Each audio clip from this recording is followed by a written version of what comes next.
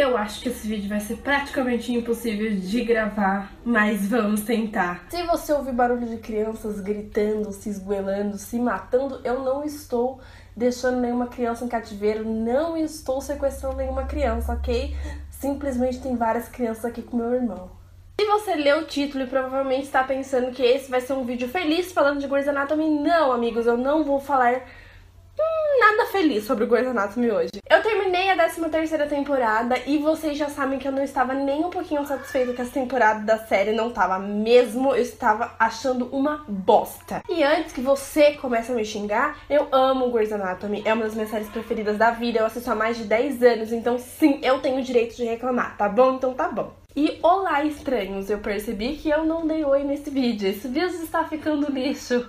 Eu não anotei nada, inclusive eu tô gripada, eu tô uma bosta hoje. Mas eu simplesmente liguei a câmera e vamos conversar sobre Grey's Anatomy, porque não dá pra série continuar do jeito que tá. Então vamos falar um pouquinho dessa temporada, que na minha opinião foi a pior temporada de Grey's Anatomy. E calma que você vai entender o porquê. Se você assistiu, provavelmente você também pensou a mesma coisa. Não tem como gostar dessa temporada de Grey's Anatomy, gente. Não, não dá, não dá, não deu pra engolir. Eu nem me importo, na verdade, com o caso de Grace mudar de atores, ou os atores saírem, ou começarem a morrer, eu nem me importo tanto com isso. Mas a série tem que continuar boa. O problema é que na 13 terceira temporada parece que eles estavam em um colegial. Se você perceber desde o começo da temporada até os dois últimos episódios, pelo menos, estava muito ruim.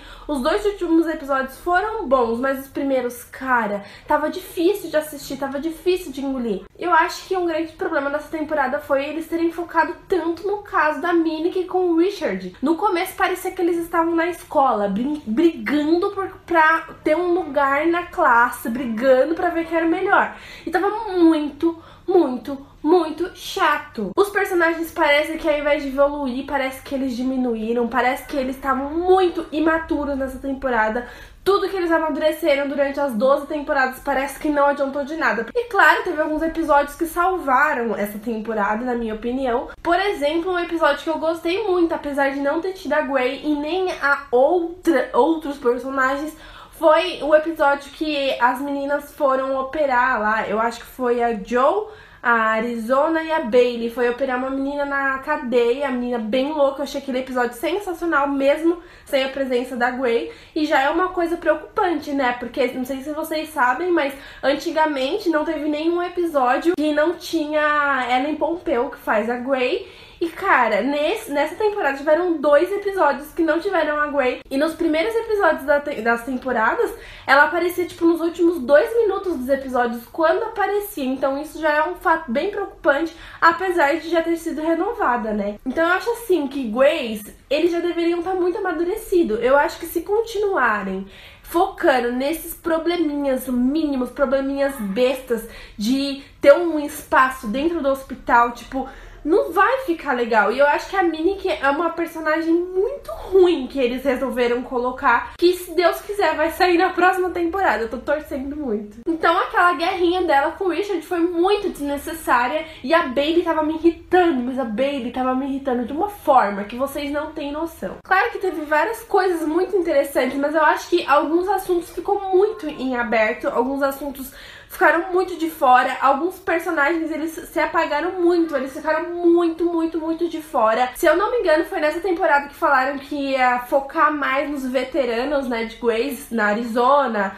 na April, no Jackson, na, é, na Gray, no Alex, e não foi isso que eu vi acontecer. Na verdade, eu vi vários plots espalhados por aí e ficou muito chato. O Owen, ele, ele sumia, depois ele aparecia do nada e, assim, com um plot estranho. Parece que o Owen tá bem apagado de Grey's Anatomy e é um personagem muito legal, um personagem que a gente gosta muito, mas parece que ele se apagou nessa temporada. E eu falo a mesma coisa da Amélia. Eu amo aquela personagem e teve muitos episódios que ela não apareceu. E quando ela apareceu, ela tava muito apagadinha. Eu acho que se nessa temporada eles tivessem focado um pouquinho mais nos problemas do Alex, até mesmo nos problemas da Joe com o marido dela, que mostrou, mas mostrou muito pouco. Eu acho que se ali no comecinho da temporada eles tivessem focado menos na Minnie com o Richard naquele, naquela treta louca, teria sido muito legal. Tudo bem eles colocarem essa treta entre a Minnie e o Richard, mas eu acho que eles deram atenção demais por uma temporada inteira de um assunto que não valia a pena. Os casos dessa temporada não tenho que reclamar, porque Grace sempre tem um caso melhor que o outro. Preciso dar um foco especial pra Stephanie, que foi simplesmente para mim, principalmente nos últimos episódios, a rainha. Cara, ela mostrou uma atuação, ela mostrou uma que ela é uma personagem que valia a pena continuar em Grace, que infelizmente ela saiu no último episódio. Mas eu vou falar pra vocês, o último episódio de Grace, ele simplesmente salvou a temporada inteira. Teve o, teve o plot lá da menina que fugiu dos pais e tinha um estuprador, e a Stephanie, que simplesmente foi uma heroína. Eu acho que não teria um motivo, não teria é, um jeito mais bonito dela se despedir de Grace, do jeito que ela se despediu, mas o último episódio também foi estragado por um fato que, olha, eu sei que eu tenho muita implicância com ela, mas cara, a Meg é simplesmente a pior personagem já criada em Grey's Anatomy. E eu confesso que eu tava rezando, eu tava orando com todas as minhas forças para que matassem ela nesse último episódio, na explosão ou em qualquer coisa, porque ela tava muito chata, ela é chata. A Meg é uma pessoa que ela só pensa no próprio umbigo, ela é mimada, ela é chata, é, parece que tudo gira em torno dela. Qualquer coisa que acontece, ela faz um drama como se aquilo fosse pra vida dela, como, sabe? Tudo bem, ela perdeu a mãe nessa temporada, foi muito triste, foi muito cruel, beleza, mas assim, ela é uma personagem que ela não consegue cativar a gente tanto quanto outros personagens que já passaram por Grey's Anatomy. Eu paro para reparar que se a Meg morresse no próximo episódio, no primeiro episódio de Grey's Anatomy, eu não ia chorar nem um pouco. Eu acho que eu ia fazer uma festa, uma festa bem louca para comemorar, porque olha só. Então assim, a Meg fez o maior drama possível quando ela descobriu que a Quay tava com o Riggs. E eu confesso que eu gostei muito do relacionamento dos dois e eu queria que os dois continuassem juntos. Calma que a gente já vai entrar nesse assunto, mas eles estragaram mais mais ainda a temporada querendo colocar um plot entre a Meg e o Jackson.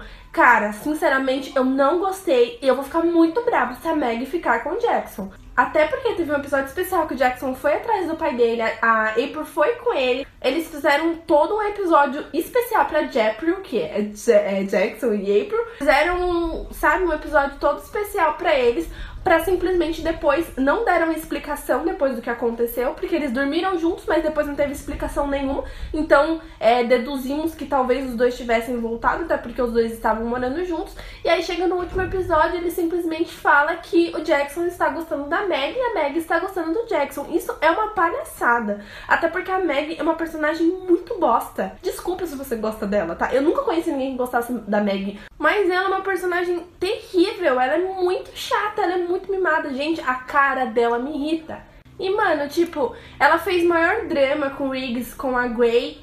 Ela fez a maior, tipo, ai, eu gostava dele. Ela nem gostava dele tanto assim, entendeu? É que na verdade ela acha que o mundo gira em torno dela. E eu odeio gente desse tipo, até na vida real. Eu odeio gente que acha que todos os problemas possíveis é só dela. Os maiores problemas do mundo é dela. Aquela pessoa dramática, aquela pessoa chata, que sempre tá ruim, sempre tá mal. E tudo tem que ser em volta dela. Então, odeio gente assim. Aí beleza, ela fez o maior drama, depois acabou meio que aceitando, se fazendo de vítima, como se a Grey fosse ruim. Cara, para pra pensar. A minha irmã perdeu o marido. A minha irmã tem três filhos com esse cara e ela simplesmente é sozinha, nunca encontrou ninguém. Ela está gostando de uma pessoa que eu tinha uma pequena paixãozinha, porque não é uma paixão avassaladora.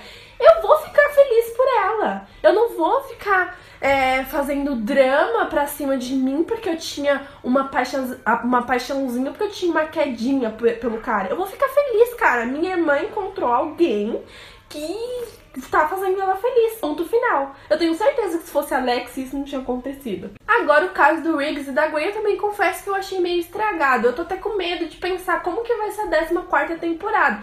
Porque assim, a gente sabe que a Gwen, no começo da série, ela teve o um problema lá com o Derek e com a mulher dele. E parece que eles vão querer focar isso novamente, porque a esposa do Riggs, na verdade, ela tá viva, a irmã do Owen. E pelo jeito, esse vai ser o plot da 14 temporada, o romance entre a Maggie e o Jackson e é, o plot da irmã do Owen. E eu não sei o que esperar e disso deu a entender que sim, a Gray vai acabar ficando no meio dentre os dois. Eu não sei como que vai acontecer. Eu espero que não. Eu, eu tava torcendo muito para que a Gray fosse feliz e ficasse com o Riggs, mas, cara, fiquei muito orgulhosa. Nossa, eu falo como se eu conhecesse, né? Mas eu fiquei muito orgulhosa dela pela reação dela, porque você via no rosto dela que, apesar dela estar triste de ter perdido alguém que ela tava gostando, ela ficou feliz se colocando ali no lugar. Se fosse o Derek, eu ia ficar feliz também, eu ia largar você também. Ela deixa isso muito bem claro. Eu tava gostando do relacionamento dos dois, vamos esperar para ver como vai ser a 14 temporada. Eu acho que na próxima temporada eles seguirem um foco mais nos pacientes, mais em casos absurdos que a gente costuma conhecer, né, em Grace e tantas coisas assim, talvez fique um pouquinho melhor, mas eu acho que se eles continuarem nesse foco ruim, não vai ficar legal. Eu achei que ia ter um foco maior no Alex, não foi o que aconteceu. Nos primeiros episódios ele apareceu um pouquinho mais, até porque teve aquele rolo todo dele ter batido no. Esqueci do menino. O nome do menino. Dele ter batido no menino e todo o rolo. Achei que ia ser pior o que aconteceu. Ele acabou não sendo preso, acabou não acontecendo praticamente nada com ele. Vamos esperar como vai ser a próxima temporada. A Joe também deu uma sumida legal na série, apesar de não gostar dela, também não me fez tanta falta. Mas assim, apesar de ser muito fã, apesar de amar muito, e eu torço para que Grace melhore para que não acabe, para que não seja cancelado. Porque eu senti nessa 13 terceira temporada que eu não tava com vontade de assistir. Assim, baixar, é, a legenda e eu não tinha mais aquele ânimo, tipo, ah, vou baixar a legenda de Grace, porque saiu, não tinha. Eu tive mais essa ansiedade pro último episódio, porque os dois últimos foram muito legais, com a história do estuprador e da explosão. Eu até comecei a gostar um pouquinho mais da Stephanie depois disso, então não sei o que esperar de verdade da próxima temporada. Eu só tenho uma coisa a dizer: melhore Grey's Anatomy, melhore, porque se continuar desse jeito, vai acabar perdendo. Não, acho que não, não perde os fãs, eu pelo menos vou continuar assistindo mesmo ruim. Mas por favor, matem a Maggie, por pelo amor de Deus. E cara, eu tô muito preocupada, vocês não têm noção a raiva que eu fiquei quando eu vi a April falando que o Jackson ama, é, gosta da Maggie. Gente, foi me subir no sangue, assim, ó, foi fervendo tudo aqui assim, o meu cabelo ficou assim, tipo, não, pelo amor de Deus, não deixem isso acontecer. Vai ficar muito ruim, cara. Os dois não tem nada a ver, os dois não tem química, a Maggie é chata, o Jackson tem que ficar com a April, eu não aguento mais sofrer. Em Grey's Anatomy parece que ninguém nunca fica junto, sabe? ninguém que é pra ficar junto não fica. O Derek morre, a Alex e o Mark morre, a Kelly vai embora e deixa a Arizona, a Christina vai embora e deixa o Owen, a Amélia separa do Owen, sabe? Ninguém nunca tem um, um, um fim feliz, ninguém nunca. A Izzy foi embora e deixou o Alex, então, tipo, parece que é a Shonda, é, a Shonda Nase é a destruidora de shippers, né? Porque, olha... então, o que eu espero pra próxima temporada é que foquem um pouquinho mais nos veteranos, mais em personagens legais, né? Não foquem em personagens chatos como nessa temporada. E façam uns plots mais legais, coloquem uns pacientes loucos, umas cirurgia louca para fazer, porque essa é a essência de Grey's Anatomy, né? Ficar colocando um monte de plot um em cima do outro talvez não seja legal. E eu arrisco até dizer que talvez Grey's Anatomy esteja precisando matar um personagem querido para ver se dá um empurrão, assim, para ver se o negócio fica emocionante de novo. Eu falo isso, mas depois vão matar e eu vou reclamar. Tudo bem. Esse foi o vídeo de hoje. Eu acho que eu enrolei tudo que eu falei. Desculpa, mas eu tava conversando aqui como se eu estivesse conversando com algum amigo mesmo. Porque eu não queria escrever roteiro, não queria escrever nem as enquetezinhas, os, os, os negocinhos que eu costumo falar. Eu, eu não escrevi nada, eu tô aqui, ó, lisa, lisa, lisa, lisa. Não quis, que eu queria comentar mesmo com vocês. Talvez eu faça um vídeo do que esperar pra próxima temporada, não sei. Vamos ver como vai o andamento dos dias aí, tá bom? Não esquece de dar o like aí embaixo, se inscreve no canal se você ainda não é inscrito e, cara, por favor, não fique bravo comigo se você não gost... se você gostou dessa temporada e se você ama Grey's Anatomy assim como eu, não fiquem bravos comigo. Essa foi a minha opinião, tá bom? E é isso, eu acho, né? É, me siga nas redes sociais, um, um beijo. E até o próximo vídeo. Ai, desculpa minha cara, minha voz, eu tô gripada, eu tô péssima, mas eu tinha que gravar esse vídeo, tá? Um beijo.